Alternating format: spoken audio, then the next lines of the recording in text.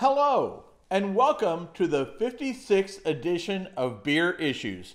My name is Matt Bruckert, and I am so excited about this new year and a whole bunch of new beers for the new year. So, today we're going to be doing a beer that actually I've never had before. It is the Boulevard Whiskey Barrel Stout, which is a nice wintertime beer. It clocks in at 11.8% alcohol by volume, so it's kind of a boozy imperial type stout, uh, aged in whiskey barrels, not bourbon barrels. So that should add a, a little bit less of a uh, pop on the beer. So I'm, I'm kind of really excited about this beer. Now, this beer is rated 92 out of 100, so it is an outstanding beer.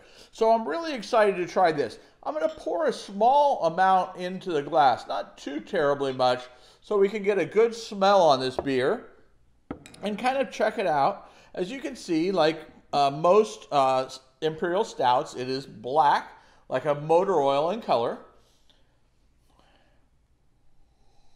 Oh, right off the bat, when you smell that, you're going to get uh, that the uh, whiskey smell, but I also get the coffee, and I also get uh, chocolate. There's definitely some chocolate in there, and there's a few other things. I'm going to like a vanilla. Now I'm going to try something. I'm going to smell it from the top of the glass. So it's interesting. At the lower glass, you get more of the whiskey smell the upper glass, you get a little bit more of the chocolatey smell. So that's something I learned through a taste, uh, tequila tasting I went through actually, smelling the bottom of the glass and the top of the glass. So pretty excited about that. So I'm going to go ahead and I'm going to taste this. Um, there's definitely some vanilla in there, so I'm excited how it all blends together because with bourbon barrel stouts, you usually get uh, real strong bourbon flavor. Whiskey's not quite as strong of a flavor, so it should be a, a good blend. I'm excited about it.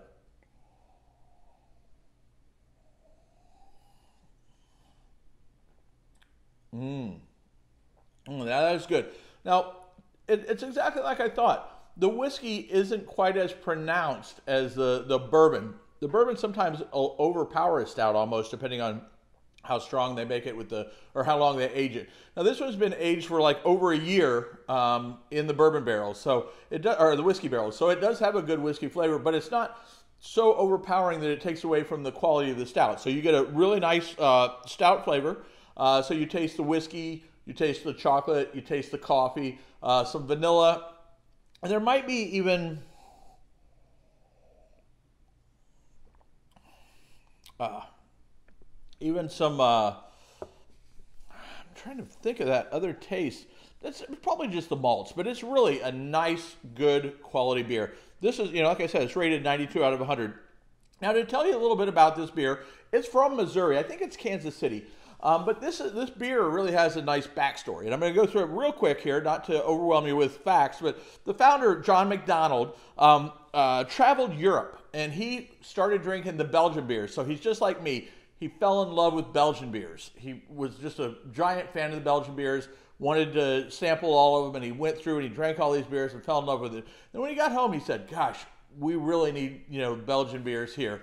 So what he decided to do, he wanted to open up a brewery. He was a carpenter at the time, and so he sold his house, took a took a gamble, sold his house, used the money to start a brewery, uh, which he built. You know, because he was a carpenter, he built it out and did the whole thing. So um, in the uh, once he did that in 1989 he came out with his first beer. It was a pale ale, so the Boulevard Pale Ale was the first beer that they did. Um, now, that was very successful, very popular. It grew and it grew, it grew to the point in 20, 2006, they did a $25 million expansion on the brewery to make it a 150 barrel brew house, which is, you know, pretty good size.